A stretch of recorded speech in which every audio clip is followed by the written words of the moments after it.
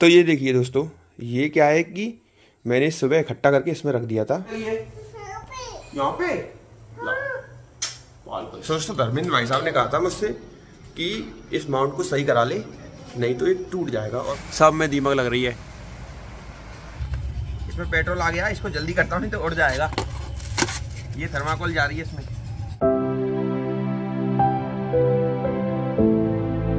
Hey guys good morning good morning welcome back to my YouTube channel कैसे हैं आप लोग? मैं हमेशा की तरह चुस्त एंड दुरुस्त।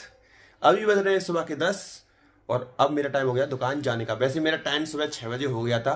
आज मैं राइड करने वाला था अपने नए कैमरे के साथ। वो कहाँ? मैं जाता आज अपने जो गोवर्धन में मंदिर है ना, क्या नाम है उसका? नाम भूल जाता हूँ मैं बार बार उसका। श्रीनाथ जी का। हाँ। श्रीनाथ जी के मंदिर जाता, और वहाँ दर्शन करके आता। आज मेरी मोटो ब्लॉगिंग ऐसे होती शुरू। में तो जब मैंने रात को अपनी मोटो ब्लॉगिंग के लिए सेटअप किया था ना, एकदम बेस्ट था, मैं आपको दिखाता हूँ। तो ये देखिए दोस्तों, ये क्या है कि मैंने सुबह इकट्ठा करके इसमें रख दिया था। अब ये कचरा हो गया इसलिए। अब मैं आपको बताता हूँ क्या चीज़ है। ये अपने हेलमेट का माउंट। ये लग रहा था यहाँ पे, इस हेलमेट पे। रात को लगा के सोया था, कैमरा भी इसमें लगा के सोया था। सुबह जब जगा था ना तो कैमरा नीचे पड़ा था नया वाला, और ये टूट गया। मेरा इतना दिमाग ख़राब हुआ, नया कैमरा और उस पर निशान लग गया। मैं आपको कैमरा भी दिखाता हूँ। देखो ये रखा। इस, ये कैमरा है उस पर देखो यहाँ पे स्क्रैच आ गया है, इस जगह पे। तो मेरा इतना दिमाग ख़राब हुआ, इतना दिमाग ख़राब हुआ कि इतनी मेहनत करने के बाद जब ऐसे होता है ना तो वास्तव में दिमाग तो ख़राब होगा ही, आप लोगों को भी पता है। मेहनत करने के बाद जब रिज़ल्ट नहीं आता ना, मिलता नहीं है। तो थोड़ा दिमाग ख़राब होता है तो मैंने सोचा कि मैं जाऊँगा, लेकिन वह कैमरा टूट गया। टूट टूट क्या गया, सही काम कर रहा है, बिल्कुल सही है। थोड़ा सा माइनर सा स्क्रैच आ गया, भगवान की कृपा से बच गया, क्योंकि इस पर कवर था। तो अब मैंने इसको सिर्फ़ सॉलिड बनाने के लिए, अब इस पर क्या किया है बताऊँ? ये देखिए, मैंने इसको एम सील से चिपकाया है इस बार, और अच्छे तरीके से चिपकाया है। खींच के भी खूब देखूँगा। जब तक मैं पूरा सेटिस्फाई नहीं हो जाऊँगा कि हाँ अब ये सही है, तब तक मैं इसको यूज़ नहीं करूँगा। फ़ोटो ब्लॉगिंग इसलिए मैंने छोड़ दी। आज पूरे दिन सूखेगा कल पूरे दिन सूखेगा। तब मैं इसको खींच के देखूँगा कि ये सही हुआ है कि नहीं हुआ है। तो अब सुबह दस बज गए दुकान चलते क्या हुआ बेटा? मनु आ गई है गिर गई थी लग गई। इधर आ। कैसे लग गई चोट? है। स्लाइड को कोने में रख। लाओ इसको मुझे दे दो। ले इससे खेल ले तू इससे खेल ले नहीं खेलना तो दोस्तों ये इनकी स्लाइड अब इसको हटा देते हैं क्योंकि ये बच्चे लड़ते हैं आपस में ये रख दिया हाँ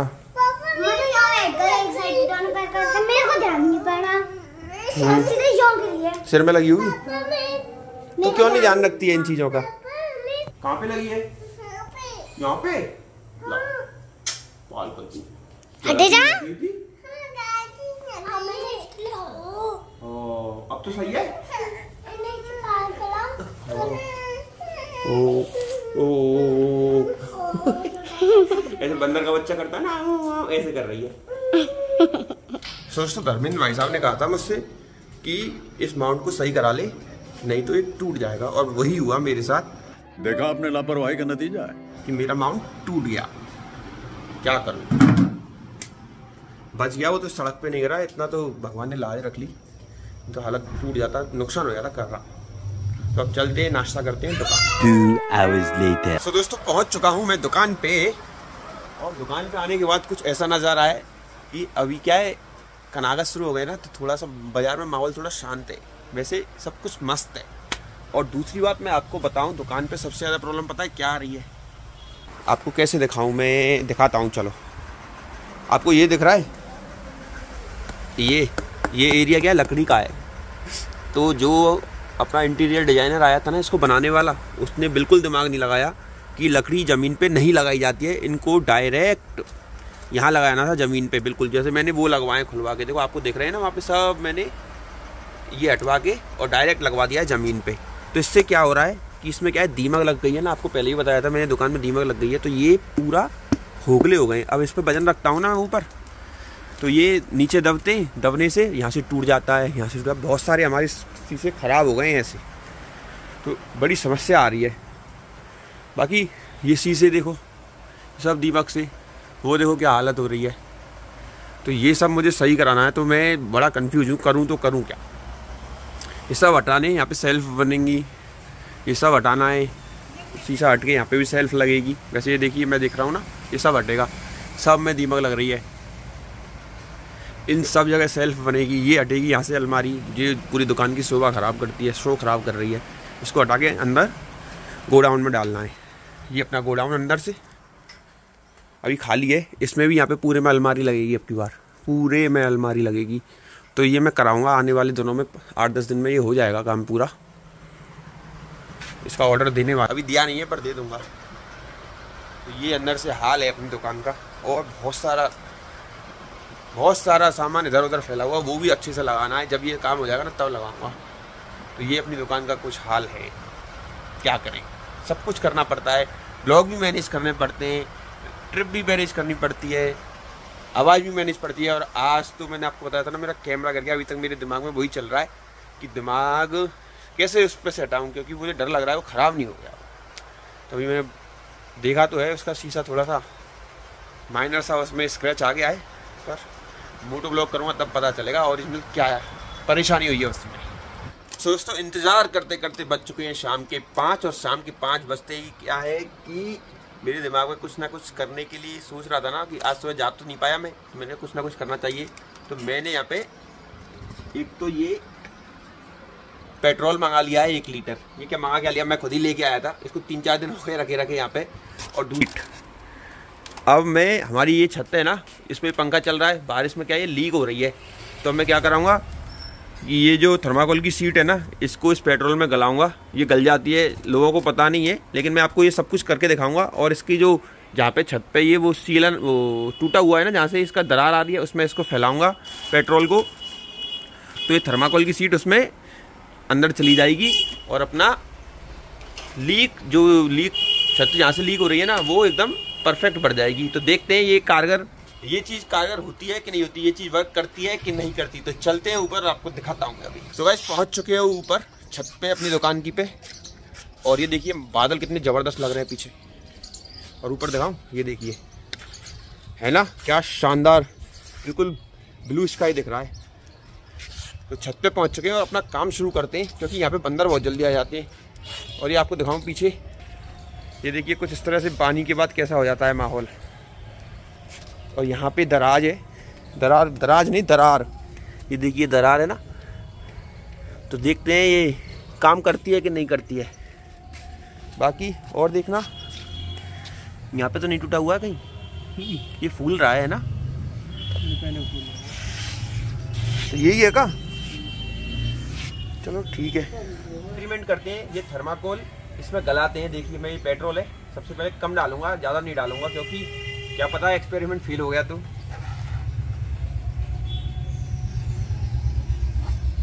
ये देखिए इसमें पेट्रोल आ गया इसको जल्दी करता हूँ नहीं तो उड़ जाएगा। ये थर्माकोल जा रही है इसमें। गल गई? देखा पास आके देखा। ये देखिए ये इतना बड़ा है ना? हम्म, बहुत जल्दी कर रही तो।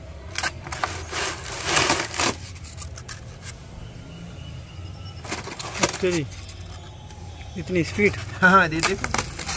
ये सब गल जाएगी इसमें? फिर इस पर डालूँगा। जो पानी पानी हो पानी पार नहीं होगा इसमें से। ये थर्माकोल पूरी वैसी नहीं गलेगी ना खत्म नहीं होगी।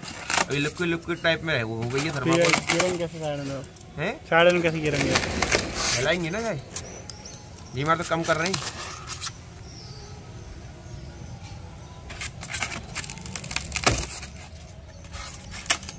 ये देखिए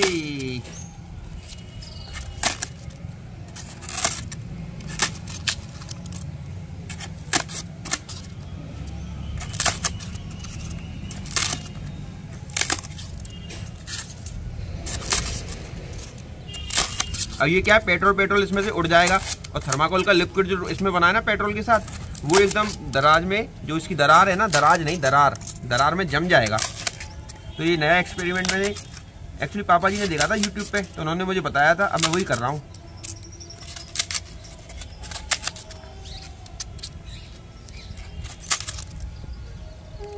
जादू है ना? किसी ने सोचा भी नहीं होगा, थर्माकोल इस तरह से गल जाती है। तूने सोचा था कभी?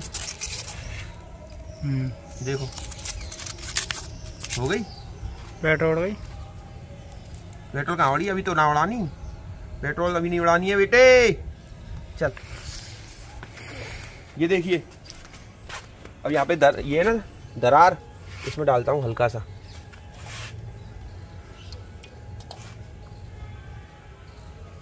यहाँ पेट्रोल नहीं जाए यार ये तो बड़ी समस्या है गई और डारा में। नहीं वो वो कुछ ला। काला पेट्रोल पहले उड़ेगा पेट्रोल जाएगी। हाँ। बोले ये पेट्रोल का कुछ का यही मैं करता हूँ।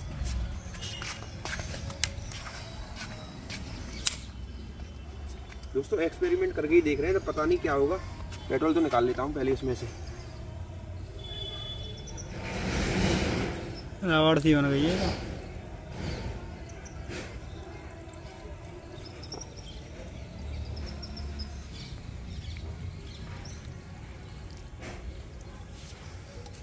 अब देखिए।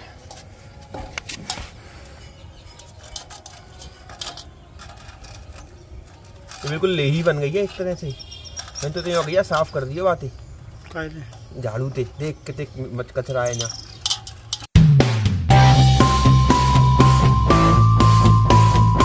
दोस्तों एक कस्टमर आ गया था जो क्या पेंट लेके गया था मुझसे। अब बैठ गया तो वो उधर गया। अब उसको वापस करने आया था तो मैं वहाँ चला गया था। बहुत मुश्किल से समझाया कि भैया फटने की कोई गारंटी थोड़ी होती है। ख़राब निकले कपड़ा तो बात अलग है। तो फट गया, उसको समझा के आया हूँ और यहाँ पे मैंने ये लगा दिया था, हाथ पूरे ख़राब हो गए। इसको क्या है? लगाया जाता है किससे ब्रश से।